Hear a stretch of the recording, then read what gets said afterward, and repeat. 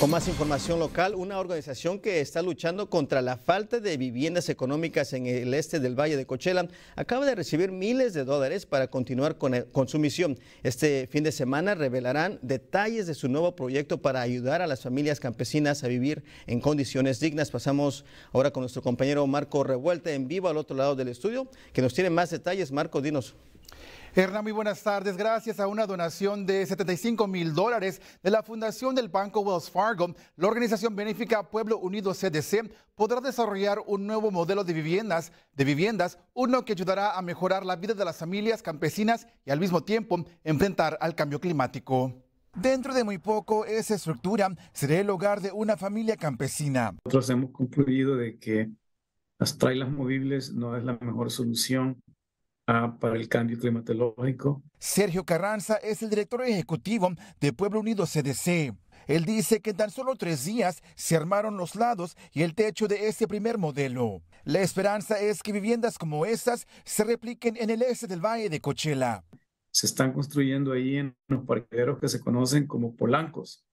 Ah, ahí estamos tratando de reemplazar. Es un programa de reemplazamiento de uh, trailers. Este nuevo concepto que la organización ha creado con el apoyo de la Fundación de Wells Fargo tiene como objetivo ayudar a las familias a soportar los estragos del cambio climático.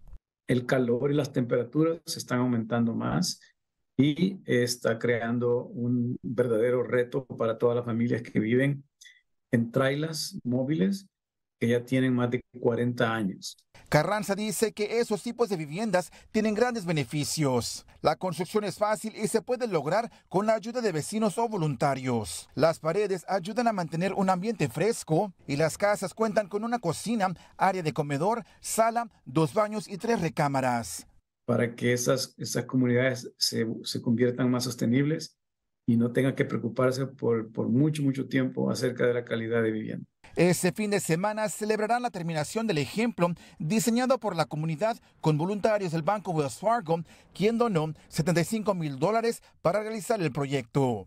La verdad, toda la gente merece un lugar, un hogar saludable, este, accesible y sostenible. Sergio dice que es un gran logro cuando se habla de avances de viviendas en el este del Valle de Cochela. Las especificaciones y el modelo es muy superior a cualquier otro tipo de vivienda. Entonces, y ofrece la oportunidad de que familias puedan ayudar unas a otras. Y bien, Pueblo Unido CDC dice que las familias interesadas en una vivienda como esta pueden comunicarse con ellos. En vivo en el estudio, Marco Revuelta Noticias, Telemundo 15. Excelentes noticias, Marco. Muchísimas gracias. Por otra parte,